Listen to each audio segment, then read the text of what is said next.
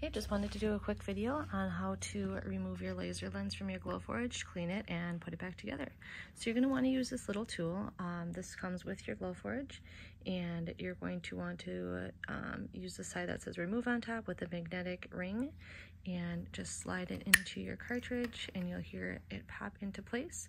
Go ahead and clean your laser lens on both sides with a cleansing wipes uh, or cleansing wipe, like similar to like something you would use for glasses.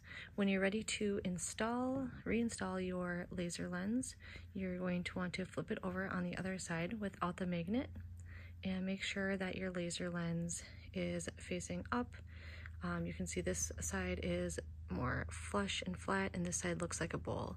You want the bowl side to be facing up and I'm just going to set this down here so I can use two hands.